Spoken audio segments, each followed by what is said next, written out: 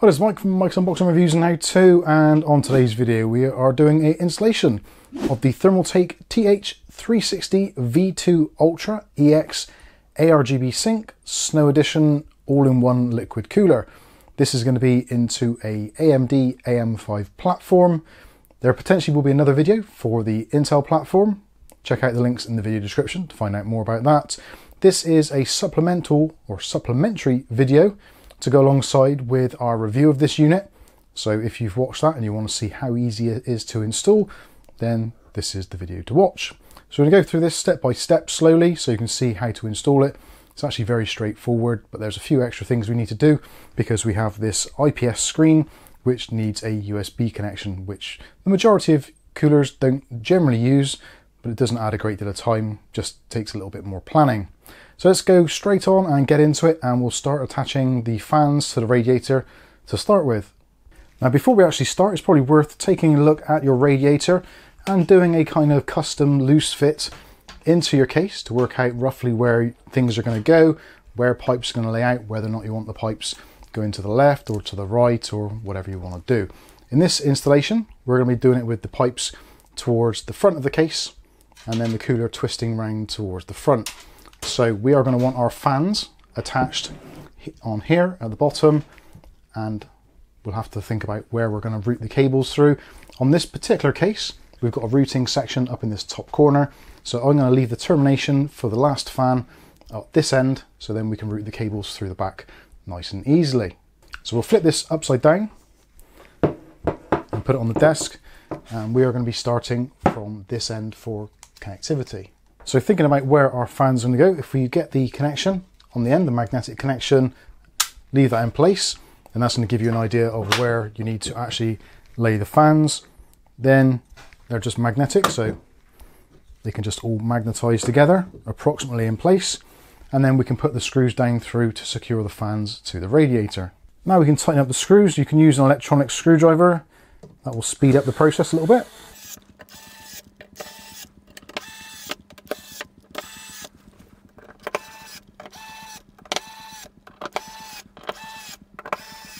With the screws, don't over tighten them, just do it so that it snugs up to the plastic or rubber grommets. So now that bit's done, now we can concentrate on the mounting mechanism for the CPU. To set up the pump head for the AM5 or AM4 or other AMD platforms, you'll need two of the spring assisted tightening screws, you'll need the two metal brackets, and also you'll need the U-shape clamp with the two holes, one top, one bottom. When you're getting ready to install, make sure you remove the plastic film, otherwise your temperatures will be absolutely awful. If you want to, you can use a little bit of IPA cleaner to wipe any residue off, although in my experience, there's very little left.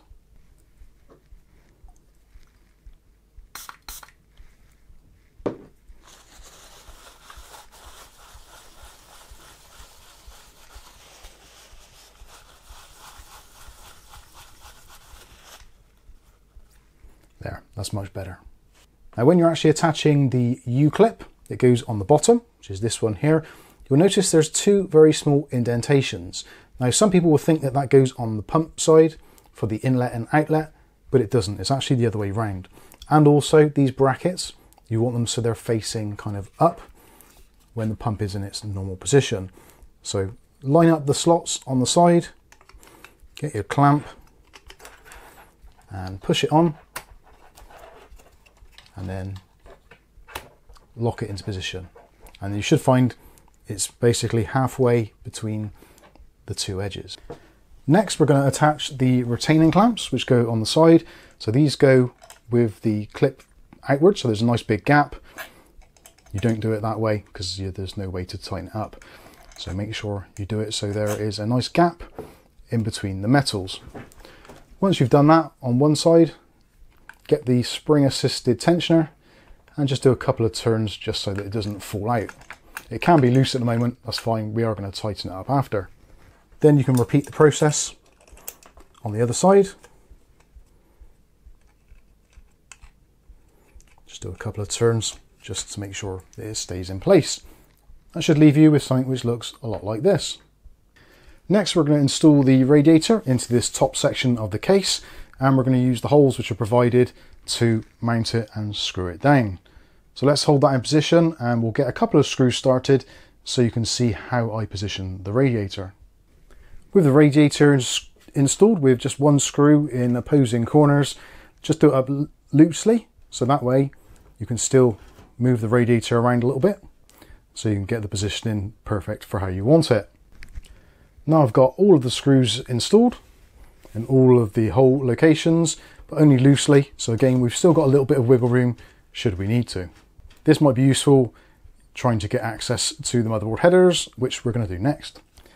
So next thing to do is to tighten up the rest of the screws on our cooler. Don't over tighten them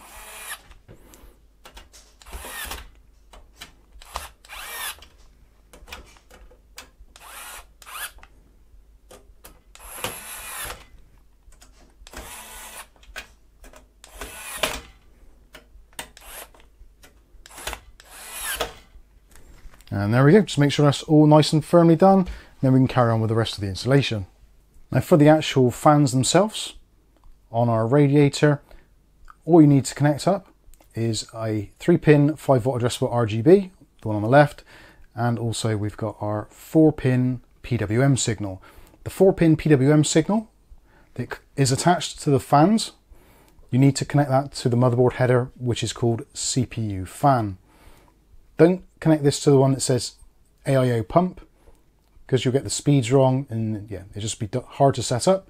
So the PWM one that connects to the fans at the top, always connect that to the CPU fan header. I'm going to route the cables through to the back and then pass them back through again to keep it tidy and then we'll plug them into the headers on our motherboard. So I'm going to take our two connections, I'm going to pass them through at the back and pull them through to the other side then pull away any of the loose wiring. I would suggest to leave a little bit just in case you need to do any movement. But I think that's going to be absolutely fine. So now we've got our cables passed through, as you can just see they're dangling. So we want to connect one of them up to the one that says CPU fan, which you can see there, which will be highlighted on the video. And the other one is going to be the addressable RGB, which is just at the top, which is slightly out of view at the moment. There's our CPU fan connected. Our addressable RGB connection is over on this side, so you can choose whether or not to try and stretch it over along here, or this case has a pass through just here, which might make things a little bit easier. You can then tuck any of the wires out of the way, just to keep things neat. Next, we're going to go ahead and install the pump. So now we've applied our thermal paste. Now this is always one of those things which people get triggered by one way or the other. There isn't really a wrong or a right way of doing this, just do whatever works for you. I've come to the conclusion that using the cake spread method, as you can see here, so we've spread it across pretty much all across the surface of the IHS and to please some of those that say oh, you'll get air bubbles in that, there's also a small dollop in the middle so pressure of the CPU cooler is going to press on that and then if there's any gaps or microscopic gaps in the paste then that should be uh, enough to kind of spread through. With the pressure and the heat cycling it should give you pretty good coverage. Again do whichever suits you uh, this one works for me. Right something else we're going to do now is we're going to take our USB connection which goes at the bottom of the motherboard but because the connection goes into the top of the pump head through one of these two connections, the USB ones.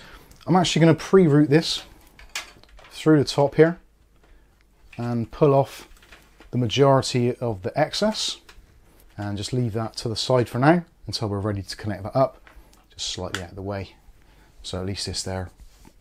Sometimes on some cases once you've got the pump head installed there may not be a terrific amount of clearance in this top section so it's nice to get the cables put through now just to make life a little bit easier for our installation going forward.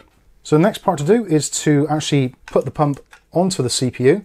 So these clips go over the plastic clips here at the top and one at the bottom. So my suggestion is just put it straight over, hold it in place, and you should feel it latch into position. And there we go. You should hear a little bit of a click sometimes if there's a little bit of pressure. So that's now in place. So we can leave the tubes as they are at the moment because they're otherwise going to get in the way when we're trying to tighten up our screws here. So just make sure this is kind of lined up. And now grab yourself a screwdriver and just do equal turns, top and bottom. So about three or four turns. So one, two, three, four. One, two, three, four. One, two, three, four. One, two, th three, four. One, two, three, four. And that is basically at the bottom now. So one, two, three. Yep, and that's about as tight as it'll go.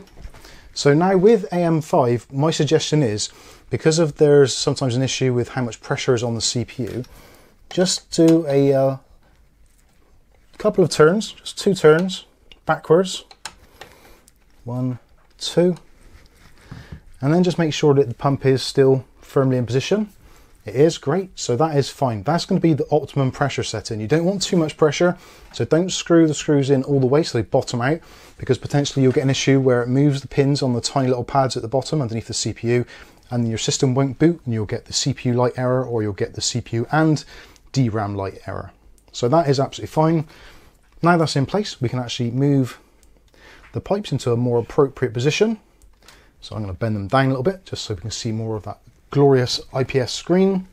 And the last part is to plug in the pump header into the CPU pump header, which is over on the top here on this board. So now just decide where you want to route your cable for the pump. Depending on your setup, you may want to take it up the side of your VRM and out through the top and then back in through the other side, or you might want to tuck it around or whatever. The choice is yours depending on your motherboard and your case. So in this particular instance, as you can see, there wasn't really that many options of routing around. So I've just taken the, uh, the path of least resistance up through the side there. Realistically, you're probably never going to see that, but yeah, depending on your motherboard and the color preferences, it may or may not be visible. Now we can take a look at our USB connection. So we only need one of them.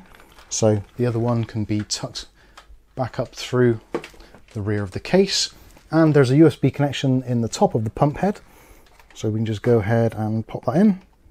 And then again, you have the option of then kind of cable managing it however you see fit or whichever works for your particular setup.